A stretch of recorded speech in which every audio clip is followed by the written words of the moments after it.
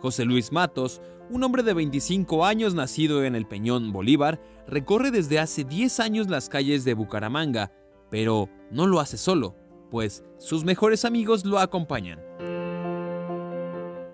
Choco Aventura, como es llamado en el barrio, se volvió viral gracias a que un usuario grabó el momento en el que se le veía festejar a su perrito Shaggy su cumpleaños número 4.